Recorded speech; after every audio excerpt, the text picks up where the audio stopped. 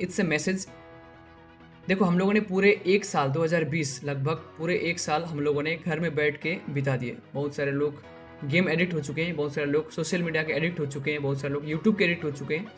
And मेरा भी कुछ फ़र्ज़ बनता है कि आप लोगों की इस तरफ़ एक अच्छे से मैसेज मैं दे पाऊँ। अब से दो मंथ बाद, शायद से मई से बोर्ड्स एग्ज़ाम शुरू हो रहे हैं, ठीक है?